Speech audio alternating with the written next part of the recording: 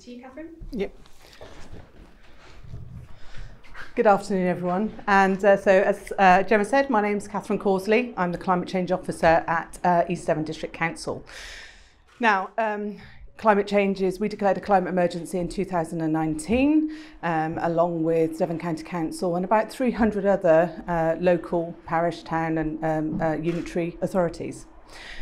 Getting to net zero is going to be an absolutely massive task. The scale of radical transformational change that is needed is uh, the sort of thing that keeps me up at night. However, we have the commitment um, of our uh, councillors and the support of all the departments that I work with.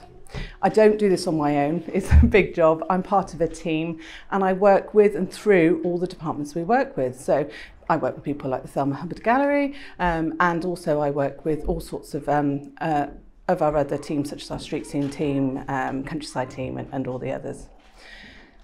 We are doing a lot. It's very hard, as you can imagine, to affect the sort of change that's required. I'm not going to bore you with all the details of everything we've done, but one of the things that we have done is, and we've measured our carbon footprint. We have seen a reduction, but our carbon footprint is about 22,000 tonnes um, of carbon a year. We need to reduce that, ideally in half by 2030. Now, the first half will be the easy half, and the second half is going to be the hard half. Now, just to do our housing stock alone, with the landlords to 4,300 tenanted properties, so that's without our commercial buildings, we're looking at an investment of somewhere in the region of 169 million pounds. So as you can see, this is not easy, quick, um, or something we can do overnight, sadly. However, we have the commitment, we have the people behind us, and um, we have uh, the residents of Devon who want us to act, and uh, we're going to do our absolute best for you. However, Uh, I will be here for answers at, uh, for questions and answers at the end, and I will hang around for a bit afterwards. If you've got any specific points you'd like to discuss with me, I'm always happy to talk about climate change. But first of all, let's get on to Mikhail and uh, let's get on to the amazing work that you've been doing. Um, I think perhaps we have a conversation and perhaps um, you could start by explaining when the, the overall larger project started and what the inspiration was for that. Sure. Um, so Acoustics of Resistance, um, the ideas started um, coming together um, sometime at the beginning of the pandemic. Not out of the blue because a lot of the work, um, I've been an artist, I've been working professionally as an artist for about 20 years. And a lot of my earlier work is about the, um, explores the relationship between different communities and the environment. So I worked with, you know, as you know, with coal miners, with pearl divers, um, with uh, people who, are, who live and work um, in um, uh, geothermal power plants. So that has always been a concern of mine. But something um, called COVID and uh, lockdowns and, and um, standstills um, really um, alarmed me and made me think that um, if there is only if there is one subject that I should be focusing on as an artist and be contributing and talking about and doing community work on what would that be? And I thought it needs to be climate change. So it was for me it was a kind of almost a kind of moral um, uh, reorientation to and, a big and extent. also you've been an activist as well. So Also have been an activist um, for since my student years. Um, and yeah, so what does that mean? Also, for someone, if you think about, and I reflect a lot on what enabled my career to be the way it is, is cheap travel, international travel. Um, if you see, um, if you were to see my CV or when I look at it, it's it's almost shameful, but it's also uh, a source of pride. Yeah. Um, you, when you, you, see, you know, how many different countries the work was produced in and traveled to, um, this comes with a very heavy carbon footprint. Yeah. So, and this is actually something that the cultural uh, sector, you know, pop music, um, theater, uh, pop music is, like, is a very big contributor, but also contemporary art is very, is it's there's a, it's a blind spot. So just to give you an idea, in 2019 I made um, 70 flights for my work, which is about two two a week. Um, and uh, my life, I was miserable because it's not good for your health. it might be, it might be good for your for your career, but it's not good for your body, for your relationship, for your friendships for your um, diet, it's just really, really not good for you. And it's definitely not good for the environment.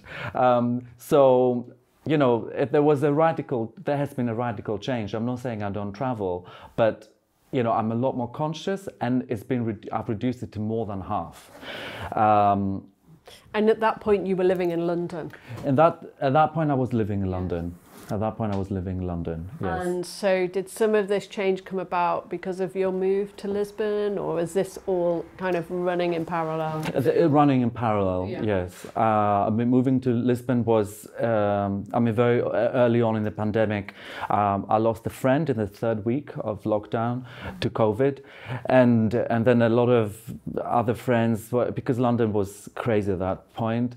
It just became very apocalyptic. The feeling became very dark and apocalyptic And um, throughout my my career uh, and in my personal life, I, I feel that I'm doing what I'm doing because I want to also I want to be a source of hope and a source of a kind of uh, someone that inspires others and as well as myself of course but you know people around me to change things for the better and to imagine hopeful futures.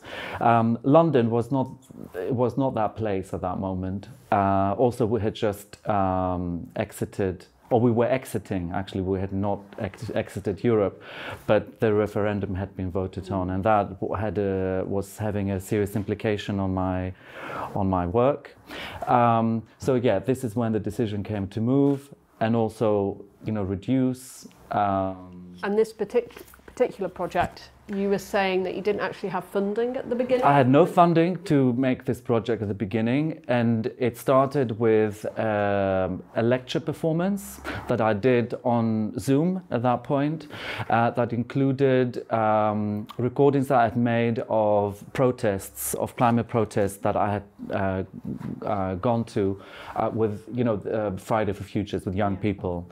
Um, and it was my reflections on what I'm handing to the next generation.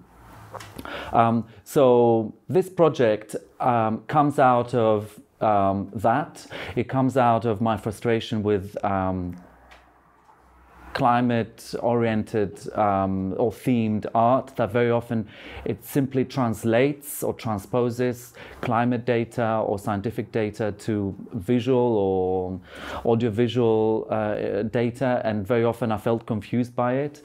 Um, so I thought, what and, do and I do? not just you. I, I, I think um, well, audiences too and visitors can see quite remote and kind of cold and yeah, I think what you're bringing is a, a warmth and a care. But anyway, I'm interrupt. Well, no, you're not interrupting. You're kind of egging me on. So I, I decided to uh, approach the theme through uh, three angles. Um, one is informed by science and uh, climate modeling data.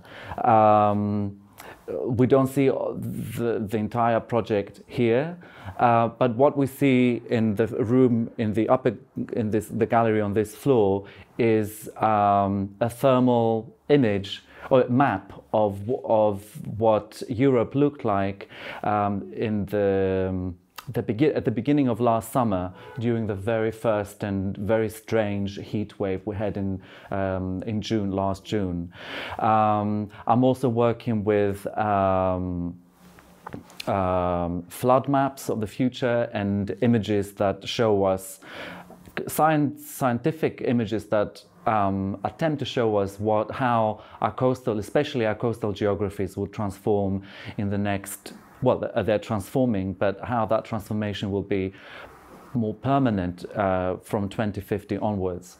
Um, so this climate data uh, or climate modeling data, then I use in workshops that I um, devise and work with uh, predominantly young people, but also with, I mean, with any age group. In this particular case, for, for this exhibition, uh, I worked with 12-year-old children in a, in a prime, in a high school. Honiton Community College. Honiton. Honiton Community College um, to produce the the um, one of the spaces downstairs with the flags. So just to and that that room is just is it gives us glimpses uh, or traces of what actually happened over the three days or more, four, three, four days that I was there. Um, so the the process starts with a conversation around the environment, um, um, and the elements. So with 12 year olds, you know, you talk about the elements, what do they look like, how do you sense them, where do you feel them. Um, then I presented to them at some point um, maps of um, 2050 that we have we all have access to. All of this information is online. I would um, for, for example i would recommend a website called uh, climatecentral.org and there, there there are different parameters that you can put in but basically you, you can see if the place where you live or your nearby uh, town or city or uh, where your relatives are, how that will be um, impacted upon by flooding. Um, so we were looking at uh, these maps, and indeed, um, I mean, a lot of Britain will experience by 2050 radical transformations. And I was just having these conversations with them. Um, and were they surprised by this, or um, have, have they been taught this already? No, they have not been given those details. Right. No. Because um, it, it does strike me that um, obviously we've had a lot of this information for 30, 30 years or more, and the and actually climate scientists have ring, been ringing the alarm bells for really quite a long time. But somehow they haven't been able to communicate or cut through. The magnitude of it. I mean, they were Yeah. talking to me about recent flooding in uh, villages uh, nearby. But for example, I showed them um, uh, London in 2050. And, you know, uh, North Kent, uh, Essex, and a lot of central London basically is underwater. And I was trying to um, to get them to think of the, the, scale. You know, what is the scale of this? So I asked them, how many people live in London? Actually, I was surprised by that because they said um, five thousand. No, a little bit more than that. You know, this is twelve-year-olds. Don't they know the population of the capital of the country? Anyway, they didn't. They didn't know. So I told yeah. them it's around 50, you know, ten to fourteen million, depending yeah. on uh, if you consider also the uh, Greater London area. And then when we looked at, so when I gave them that figure of 14 million people and I showed them the map, then they thought, oh my God, you know, millions of people will have to be relocated. And I told them, what does that mean? They said, well, we have to build schools, we have to build hospitals, we have to build new homes somewhere else. These people, I told them, where are they going to go? They said, maybe they're going to come here. so just to, and, I, and this is the process which is around, you know, my idea of the universe of solutions. And, and what I do um, is a way of, I think culture has the ability and art. If you think that art is really the domain that nourishes and works with the imagination. It brings things into being that have not been there before. It's very generative. Um, even you know, a child makes a drawing or comes up with a sentence that has not. Or even what children do at school, they they make up songs and games.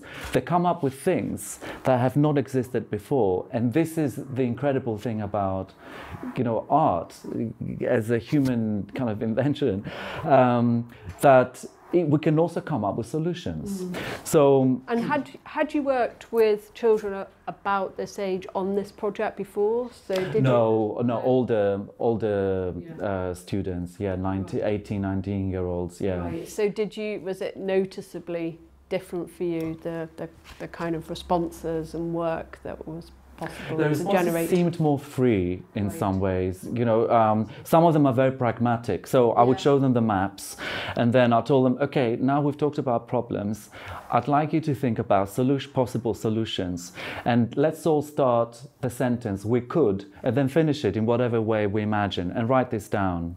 So you see some glimpses of that downstairs on the wall in their handwriting with their own sketches, and you're invited also if you want to write your own, you know, practical or imaginary solutions. You're very welcome to put it on the post-it notes. Um, so some of the children would be very pragmatic and say, okay, let's we need to elevate our homes or we need to build walls. Others would say Let, we can invent a serum that turns us into mermaid mutants, um, which I think you know it's actually it's a very valid response. Maybe there is a way of you know transforming there, there are different ways of uh, thinking about the problem but the idea of what i do is that um, um, through the work preparing i feel or i want the next generation both emotionally as well as um, um, logic not logically was emotionally and what is the cerebral not cerebral um, mentally, um, psychologically and mentally, to be thinking about the changes that we need to make and what solutions we might need to think of. Um, But despite having done what sounds like um, a, a relatively practical solution-based workshop, you're not a policymaker and you're, you're, you're, you're not a scientist and you're not working with an institution to make those changes. So you're coming at it to produce very powerful, rather beautiful, impactful work. So um, I think hopefully you've all had a chance to see the film works and um, and if you haven't experienced Mikhail's work before, um, the combination of image and sound is always really powerful. I mean, the first work I ever saw was Children of the Unquiet at the British Art Show in Leeds, um, and that was many, many years ago, and um, it affected me really quite deeply, and I thought it was the outstanding work of that show, which is a very, you. very big show, I have to say, and then Thank you. subsequently followed Mikhail's work since then.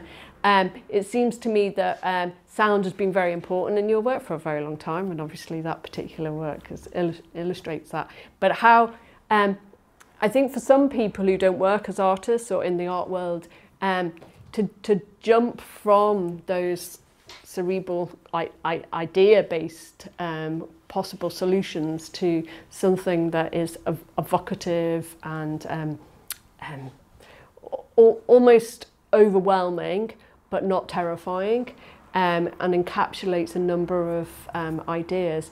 Um, can you say something about that? And then maybe you could say something about the, the performances of the yeah, which folks in the connects. Yeah. it connects us to the Yeah. the first work we see Yeah. in the bigger uh, gallery. Yeah. Um, well, sound, or rather, sound we perceive through listening.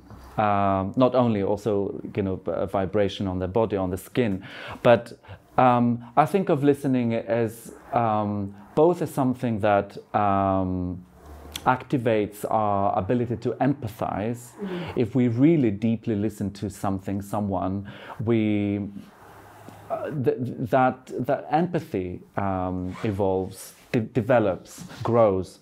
Um, and if we really truly want to respond to what we listen to, uh, we need to listen. You know, we need to empathize. Um, so, in that respect, I think of it also as an activist force, because if you think of um, what activists do when they go to protest, they they they try to make something that has been um, neglected, overseen, unheard. They try to make it visible and audible. Um, so there's something about you know listening there that I connect also with activism, and some also it became this to me. This became very apparent to me when I worked with people that are nonverbal and that some of them had severe disabilities and they needed carers. Of how care carers one of the first things they need to do is listen, to listen to what that person wants wants to say, but they're not able to because they're nonverbal. How do they communicate? How do they, you know, mm. transmit? And what is it that they transmit? Um, so yeah, listening has this power. Um, but also, there's something about um, the responsibility that I feel that I have to learn the language of the other, whatever that other is. Mm-hmm. Um, and this particular case in this project, I'm thinking of nature as that that speaks a language that I need to learn. Right. But we've been doing this, you know, humans have been doing this forever.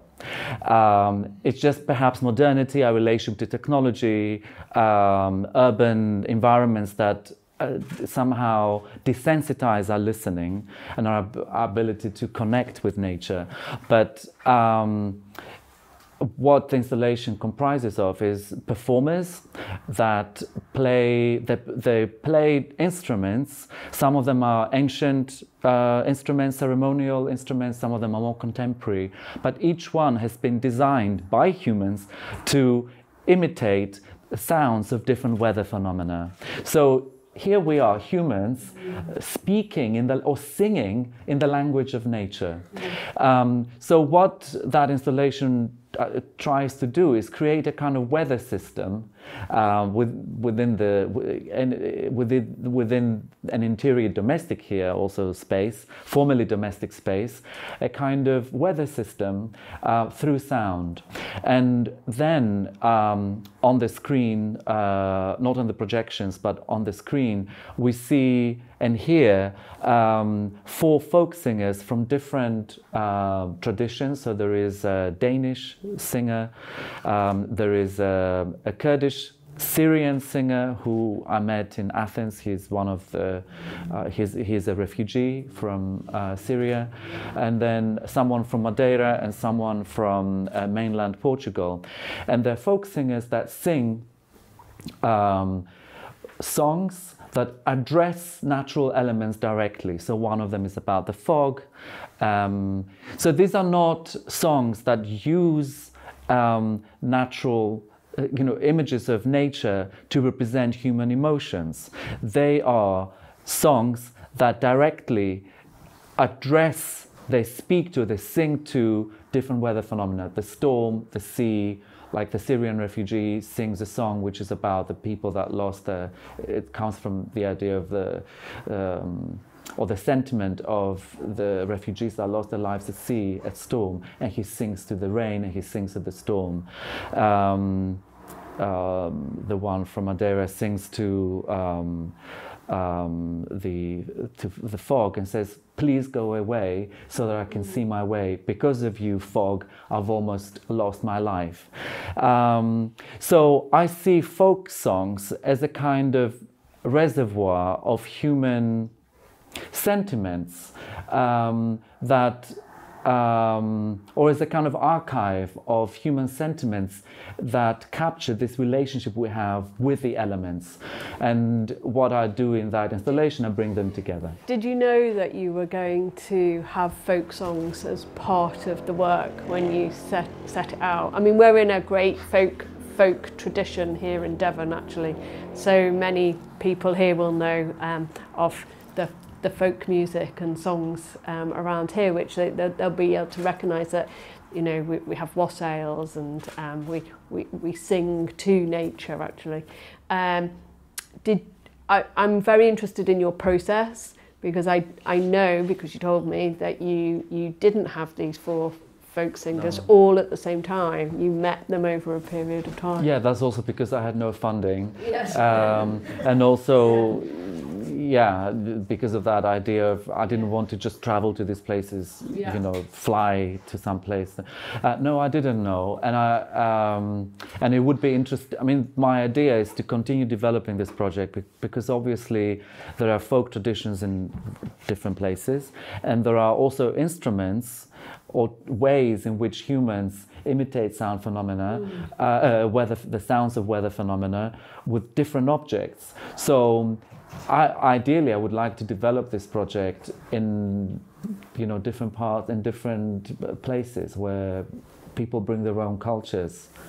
Um, and um, with these particular performers, um, did you prompt prompt them to sing a particular song or discuss the project and then they chose the song? Yeah, we would discuss the project and we would do research into um, like archives of folk uh, songs, or we would have to speak to some master of folk songs and things. Yeah. Also, not all of them call them songs, these ones. Some of them in Scandinavia, they call them weather calls. So it's not a song because a song is it's something else. So these are supposed to be the Scandinavian one is supposed to be sung outdoors in the field, um, and you just you know you you call.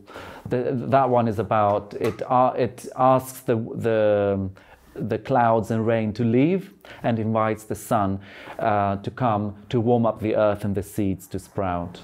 Um, so actually, there is a word which is very similar to English, uh, ran for rain. So if you listen back to that song, you will recognize she uses that word a lot. So is this the female singer with the plait and the beautiful costume, which is made out of uh, folk um, um, tablecloths, Right. you know, embroidered yeah, yeah. tablecloths.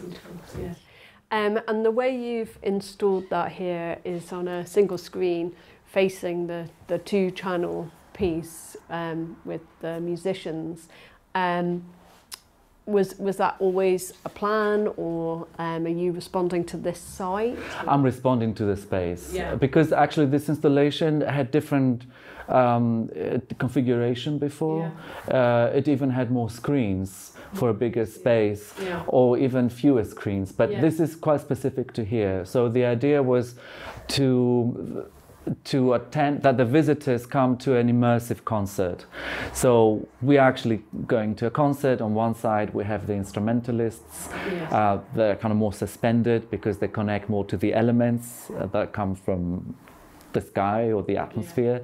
And then on the other side, we have uh, a heavier screen on a on a um, tripod um, with a singer that is more or less at our level, eye level, and we are in between them, between the human addressing the elements and the and the elements, you know, the instrumentalists uh, creating the, these uh, noises.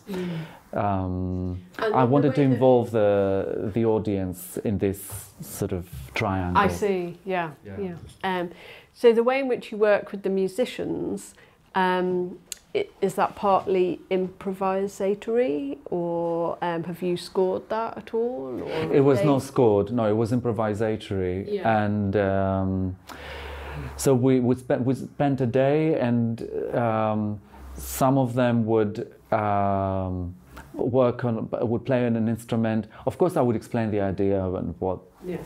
I I wanted. Um, so they would spend some time improvising on an instrument, and then sometimes they would play together.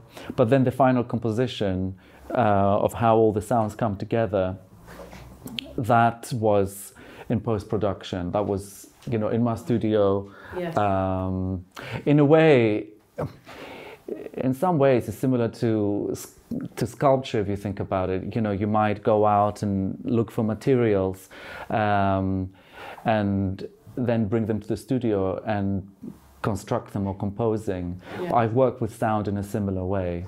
Right. Oh, that's that's fascinating. That's a really um, great analogy. Um, um, has anybody got a burning question at the moment? Yes. Yes. Um, I am very interested in what you were saying about reducing your travelling. Um, because you said in 2019 you did 70 flights and then, all right, and then you reduced it to less than half, so say about 30 or so. I would say, I mean, during COVID, it was obviously we couldn't travel. Um, but since September, I have had, I've taken maybe about mm, 11 flights or 10 flights. Um, do you not think um, that Zoom could reduce that even further? Because I didn't know about Zoom at all until we had the pandemic. And, you know, that's what I'm doing now. Um, and I, I was thinking the possibility of how the hell do you get your art into a different country on Zoom? You can't really. But, um, you know, physically, if it's a physical piece of art, you, you need to put it there. um, you need to travel. So I'm just wondering. It's the process, you see. I only. Tra- I don't travel for holidays. I only travel.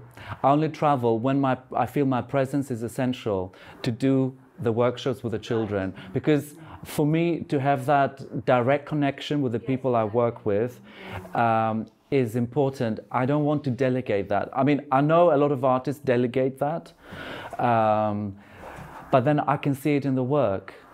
Somehow the that kind of emotional engagement. Yeah.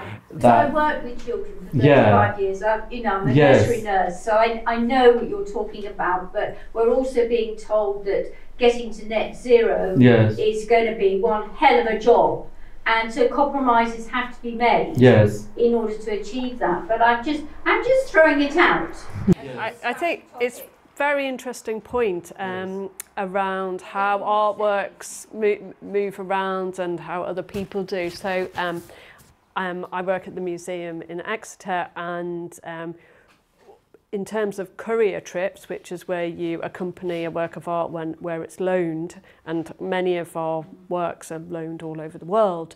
Um, we're now doing vir- virtual courier trips, and and and so are our colleagues elsewhere. So we had a Matisse in the museum recently in the exhibition Hollow Earth, um, and we de-installed that last week, and the courier was on a laptop and watched the Matisse, um, you know, taken off the wall and packaged and put into the crate. Um, and in the past, that courier would have travelled from Norwich, for example. Um, but now we're all trying not to do those journeys. Or if a journey needs to be done for an exhibition abroad, then we uh, we agreed that our colleagues at the National Gallery, who've all got also got a work in the exhibition, can you know, check out our picture as well. So, um, I, yeah, the, the, the famous painting, Man in a um, red, suit, which has been at Cambridge and is going to tour then to London, um, has, has never been couriered by us physically. We've um, accepted that other people will look, look after that. Very rare painting. Um, but it, yeah, we, we, we do have to make So big changes. changes are being made. Yes, we're getting solar panels put on the roof at the Museum Exeter and also a heat pump um, and all the vehicles that are driven by Exeter City Council employees are all electric. We've got a solar farm and we're committed to net zero by 2030. Um, so, yeah, it's a big ask. Though. It's a big ask. I think for, for an organization to make these fundamental changes uh, is one thing. I think there's something about the, the whole economics of involved in cultural workers. Because, I mean, I have a, convers- a similar conversation, you know, uh, regularly with institutions. Um, and I always say I don't want to create. I don't want to have like three commissions, like three new works every year. I don't want th- three new commissions plus all the other shows. I want to be able to make one new project because it takes a you know a lot of work. One new project, but the salary, the money that that gives me, is not enough for me to live on. So it's it's. Um,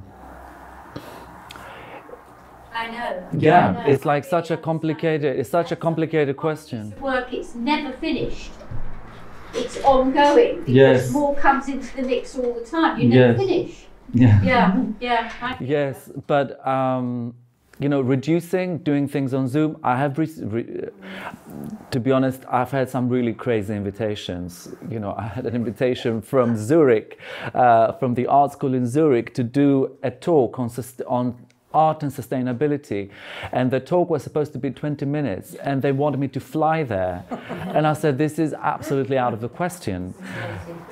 And they were insisting. And I said, Well, I'm not going to do it then. I told them I wanted to do it on Zoom.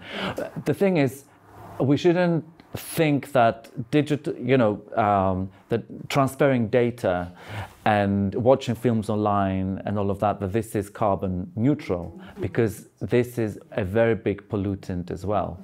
There are huge spaces throughout the world that have servers that are so hot and they need so much. Um, you know, um, ventilation. I mean, all everything produced. I actually, I was working on a project with young people that were about 20 years old, and we calculated that the data that we produced filming, you know, the we were the thing, the project we're filming, because we, we were all from different countries. And we said okay let's make a virtual hard drive. To transfer the data was equivalent to driving between luxembourg where we were and um, andalusia in southern spain seven times Right. it's like it's it's mind-boggling mm-hmm. And of course, so much of the value in your carbon is you are bigger than the sum of your carbon. You know, the, the impact you have on people's imagination, people's thinking, people's engagement is worth every ounce of carbon. So, you know, I think that actually, you know, you're right, maybe not to fly for a 20 minute Zoom, what could be a 20 minute Zoom, but, you know, there is carbon in everything. sorry because we are being we are being recorded i think you should I think that's this mic, though.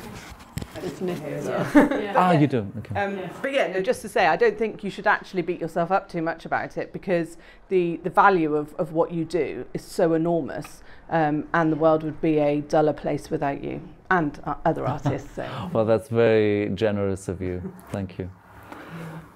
Does, does anybody else have a question at the moment? Yes. there's a- It's, I hopefully this won't be repetitive because it's kind of building on I was wondering if you have any advice for artists who may be at the point that you were at earlier in your career who want to engage international audiences or communities and also maybe don't have funding. Like with your experience now and also with the digital experience now, is there any guidance that you would give? Um, I think what was uh, very important to building my career, for building my career, um, is has been um, being present in um, you know attending openings. But you probably have heard this before: attending openings, supporting colleagues, um, seeing and tuning into who is doing work that is, including curators, what curator, what museum, what institution is doing work that is that you can imagine your work being there in terms of thematically. Um, and supporting them, making yourself visible to them, and developing those networks. I think, you know, that's the case. I think with most, uh, if not all, freelancers, is developing a network and being visible in that network, contributing to that, and and that usually is returned. I think um, digital learning um, has had an impact. Um, I've, I've been involved in education also for a very long time at, univers- at university, and I was trying to explain the idea of a community and a network uh, to my students, and they found it so difficult to understand um, because they would just come to the Zoom. Often they wouldn't make the, themselves visible, um, they wouldn't even talk, and then they would ask me to write. Um, like at the end of the year, they would ask me to write a reference, and uh, I was telling them I need to know you. I need to be able to recognize you. How can I write a reference for you if I don't know, if we haven't developed some kind of interpersonal connection? Um, Zoom is a connector, but is also a disconnector in that, in terms of that interpersonal kind of connection. So um, apply, apply, apply. I would say to for funding. Um, connect with uh, practitioners of your uh, that you feel you're like-minded, um, but from the whole spectrum of of of the sector. Yeah, but I guess okay. I guess in the context of also taking on board all this messaging around climate change and the impact of that, it sounds like the answer is just being selective in terms Yes. of making sure that it's really what, going to be worth making the journey.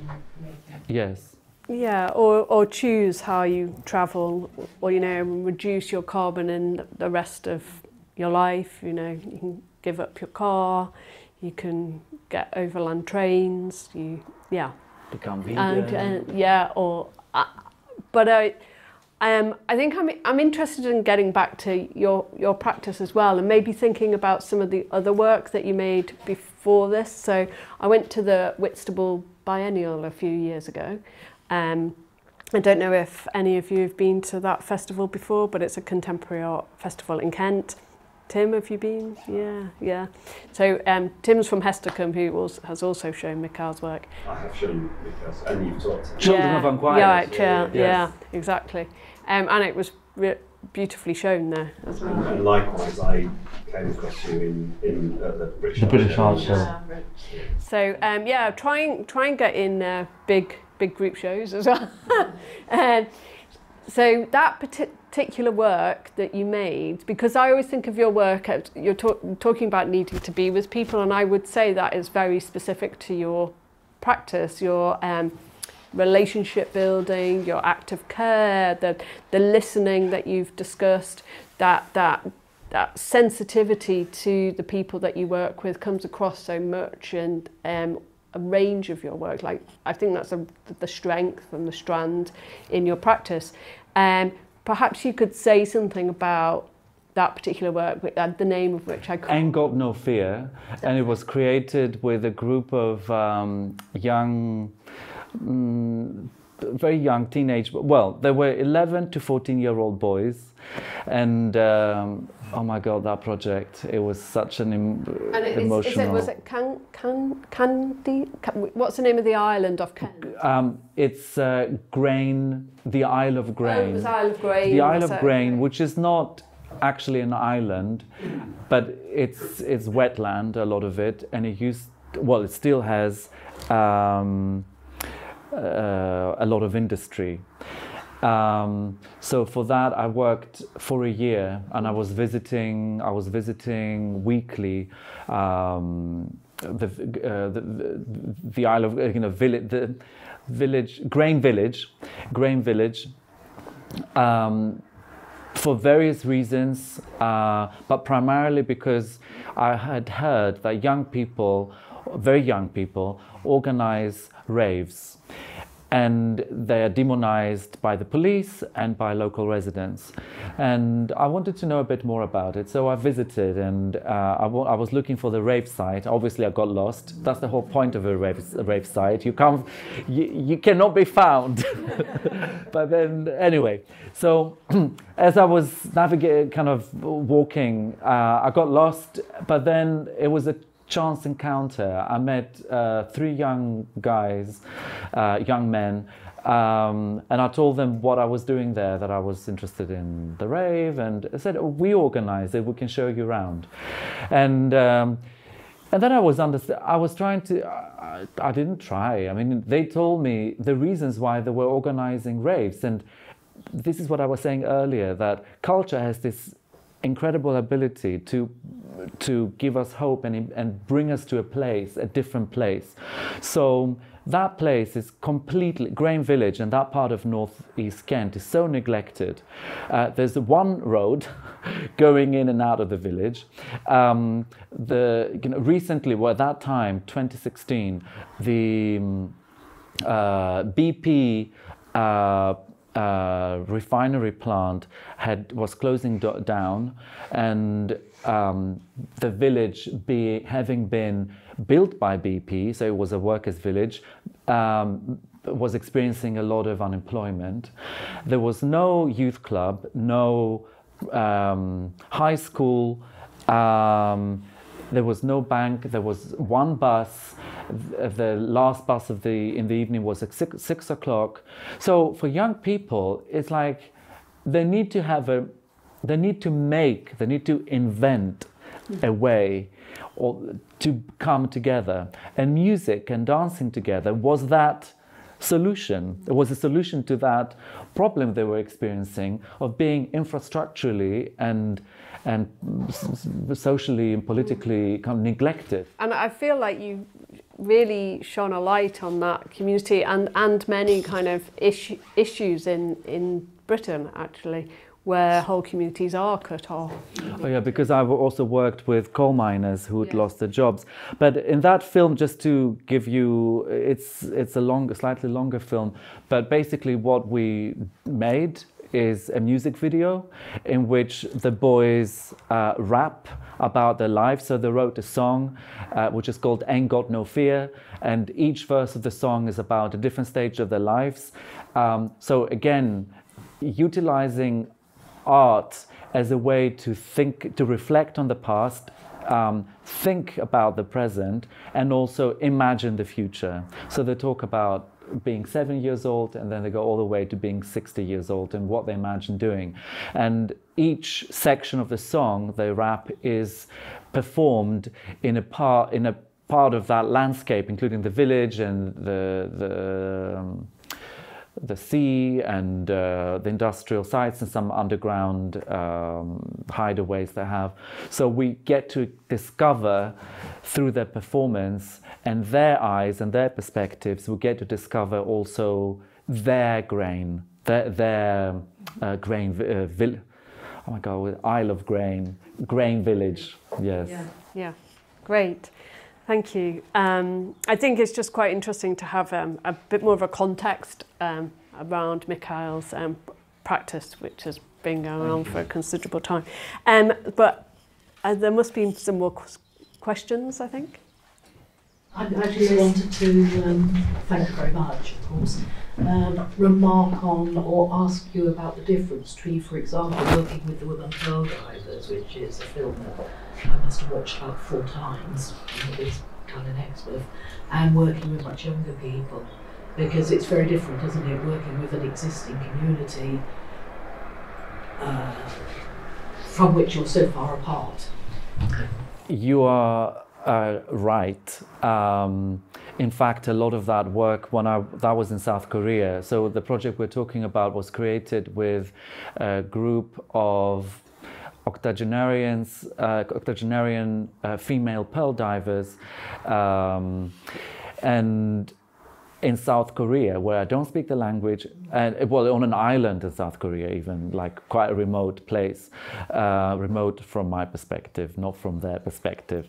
Uh, so um, at the beginning, I was just um, observing, to be honest, and the way I approached them was um, rather than doing it directly, I, uh, I approached them through a, a feminist group at the university of that island, um, Jeju Island, um, where younger women um, who were uh, into feminist filmmaking and theory that had grandmothers who were pearl you know some of those pearl divers. So they made that connection. They brought me to the to the spaces that they inhabit where they work where they eat and they cook. And um, they prepare their equipment before they go into the sea. And um, in that particular case, I didn't. I don't feel I added anything. I didn't initiate anything. I think I was observing and I was documenting, and that came after. Actually, not the very beginning. Um, after they invited me to go diving with them. And there was an incident that was very funny, and it always in my work is always a moment when there is something very coincidental and funny and quirky that happens that kind of breaks the ice and it changes the project. So in this particular case, at the beginning, you know, they were there, I was here, and then they invited me to do the uh, to go diving with them. And obviously, I mean, they are not only are they Asian and you know they're also um, women and uh, they are in their 80s, meaning they're you're much smaller than me. You know, much shorter and you know, much smaller. So I, they gave me one of the wetsuits, and because I was so much taller, the the top just popped off, and they found it so funny that I, I stretched the the um, wetsuit to the point that the top just popped off. So then you could see my bald head at the top, and they found it very funny. They were talking about it for a long time, and then they came on the following day after that. They came with cameras to take photographs of me with them. That gave me a kind of passport to then bring my camera and just be around them without them really paying attention to me. They were very caring. When I went to the boat to film them, they told me, You're going to be very sick, don't do it. But obviously, I was very driven and I wanted to film them. And I was sick for two days because, you know, your eyes that connect with your inner ear they try to find a horizon that is stable, but your body is constantly moving. So I was, I thought I was going to die. That was um, a, a, great question. Thank you so much to Lara. I uh, really appreciate it. And please do leave your comments um, in the uh, Universe of Solutions. But um, are you happy to answer some more questions, Mikhail? Of course. Yeah, sure. so does anyone have a, a, a question they'd like to ask? What's um, I don't know if you know the difference between like streaming or uploading in 4K and 1080p. How much difference would that make if everyone just accepted 1080p rather than 4K? It makes a huge difference. You know, when you um, upload information, you know, data that is so much smaller, of course, it makes a huge difference. So it's going to be worse at 8K. Yes. Yeah.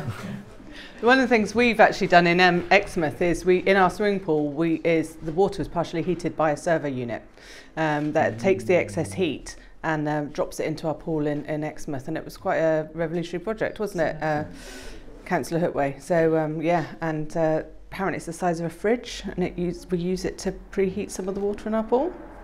But you know, that's a that's a good thing. That's part of the universe of solutions, yes. right? It's amazing. Yes. It's that thinking outside the box. And I think that's what's so wonderful with art, isn't it? Is you get to have those conversations and explore hard and difficult topics in a way that is safe and um, allows you to use your imagination. You know, like, like you said, we all need to start thinking about things differently. And art allows you to do that in a, in a way that um, is difficult to get these complex images across, isn't it? These complex ideas and um, um, concepts, isn't it? So, which is why work like yours is so very important. Uh, well, I'm, um, I'm conscious there's a question there, um, but in response to this, I'm thinking that I, I very often think about who is uh, ruling countries and the fact that politicians um, um, they are they come from different disciplines, but not usually from the cult, from culture, mm. from the arts, and um, I'm thinking if you know science, science has the ability to come up with you know practical you know solutions to something, but then in order for our political class to be able to imagine solutions and propose solutions and then test them with, you know, go through the scientists and say, okay, so how about this? Is that possible? Um, in order for that to happen, I think there has to be a much closer connection between you know, politics and and this kind of humanities in general. I mean, it could be philosophy. It doesn't. It doesn't have to be art, but the kind of creative industries and humanities, because that's the that's these are the ones. I mean, people go to university to study design or art or whatever, and it's they are cultivating. They're nourishing their imagination. They're cultivating the way of imagining something and then making it real. Um, and I think these people are very will be very important. They are very important, but they will be very important in in conjuring up hopeful and different images of what our future. Yeah. You know how we can have a kind of better future. Yeah. And we, we need system change, not climate change. Yes. so yeah. Um, yeah, I'm, I'm just intrigued really. I'm, I'm brand new to learning about your practice through mm. learning about this exhibition. Um, and it sounds like you, you're working in loads of different contexts. obviously there's a thread of climate and the thread of, of working directly with people. But I was, I'm just intrigued. Like, what's your ideas process? Are you, is it at this point in your career very cumulative, and you're building on things as they come, or are you mostly working to commission, so you're working within a brief? Like, how are you pulling in these ideas from very disparate parts of the world and Hmm. Um, well, all my work has been about the. I mean, if I think back to like 2008, when I created the my first work that was connected with the community. Before I was working more with like uh, fellow artists, performers, and and that. But then I made this decision. I made a conscious decision not to work with people that are that in a way come from similar backgrounds, educational backgrounds to me, um, and work with people that whose whose professions at that point connects to to the environment in in a kind of direct way. So. Hence, we have the project uh, Sounds from Beneath, uh, for which I work with coal miners. Um, then the Pearl Divers, um, so again, these are very different, but one is about extractivist form of an extractivist kind of relationship to the planet. The other one with the pearl divers actually is very interesting because their model of working is proto-eco-feminist, I would say. The way they work um, and the way they respect the cycles of, of reproduction of, of sea life and how they have very, everything is handpicked and the, it's a very sustainable way of working, um, which then inspired me to look at sustainable energy production in the present and go to Italy, where the very first geothermal power plant in the world was built, which is it led to the project Children of Unquiet, which had a lot of different output out, outputs. But the you know Children of Unquiet is also a film that is like the central part of the project, um, and and for that, I work with children, and we're looking at ideas of protest and energy. Um, and then, you know, my ideas evolved closer to you know childhood and eco-activism with other with other projects. So to me, it seems that I'm doing the same thing. Um, it's just I'm looking at it through the perspective of different people in different locations. But the theme is always the same, which is about our relationship to the planet. Um, now, maybe my theme, uh, because I'm working on several projects, but my theme is very specific to you know climate change and and um, flood flooding and how um, the future, our future, will be transformed because because of flooding. So it's more specific for the next for the next year and a half. So when I start working with, and the moment there are communities in different part in different countries, but I we have, several conversations about where they're at in terms of their thinking, especially young people. Um, but I always introduce the climate modeling data, the websites I look at. Um, so I'm also, what's the word? It's not just what I'm, how can I say, what what I find is also what I, you know, what I Intuitively feel.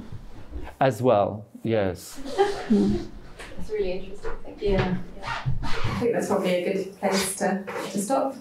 Do you think? Yeah. We could go on all Yeah. I'm happy to continue also informally. yeah, that's great. Thank you so Thank you so much. Thank you. Thank you. And thanks to the photographers.